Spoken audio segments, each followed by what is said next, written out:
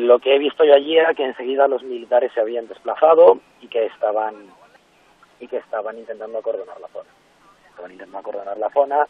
y se ha empezado a hablar, se ha empezado a hablar de que había más bombas, que no habían explotado, pero que estaban buscando más bombas. Esto es porque en el sur, cuando ponen una bomba,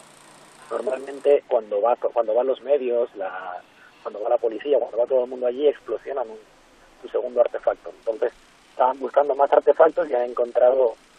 eh, decían haber encontrado dos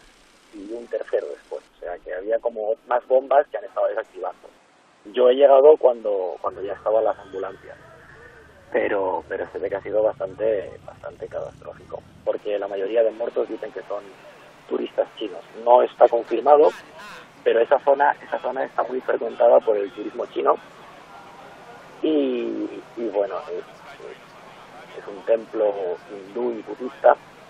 al que va mucha gente pues tanto de visita como, como los que van a rezar. Lo que claro eh, al momento ya se estaban enviando imágenes de gente de gente cortada por la mitad y tirados en la tirados en la acera. Mucho turista haciendo fotos y sobre todo lo que hay es eh, mucha gente diciendo bueno pues yo mañana me voy también tengo gente eh, tengo tengo contactos que trabajan en el sector hotelero y que